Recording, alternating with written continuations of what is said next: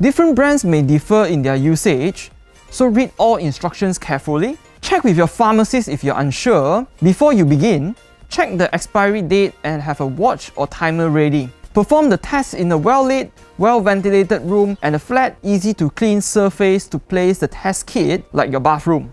The test kit contains one test strip, one reagent container, one funnel, one cap, and the user manual.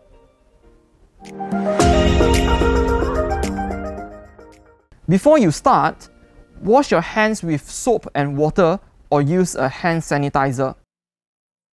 Gently rinse your mouth with some water. You should wait for at least 30 minutes after eating, drinking, or smoking where applicable. Do dry your hand if they are still wet. And now is the time to get ready for the kit. Open the seal of the reagent container and connect the funnel onto the container.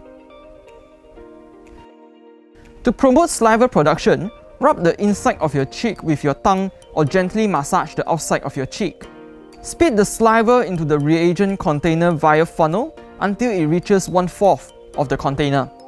Now, remove the funnel and put on the cap of the reagent container.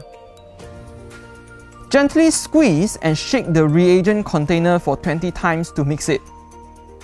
There is a container holder on the box, simply push through it and allow the reagent container to sit for 5 minutes. Don't forget to set the timer for 5 minutes. When it's time, open the test kit.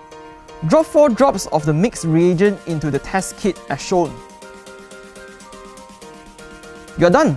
Now, wait for 15 minutes for your result.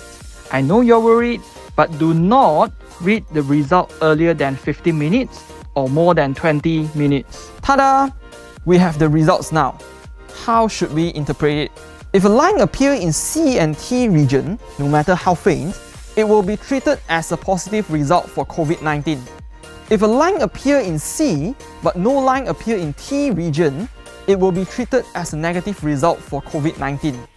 If there is no line in C, the result is invalid, likely due to incorrect testing procedure. You shall repeat the test with a new kit immediately or visit your nearest healthcare facilities for assistance.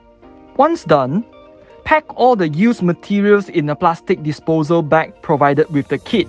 Double bag it with another plastic bag and tie it up before throwing it into the dustbin. Lastly, wipe down all surfaces the kit came in contact with and wash your hands or use hand sanitizer again. If you have any questions, please ask our pharmacist to know more.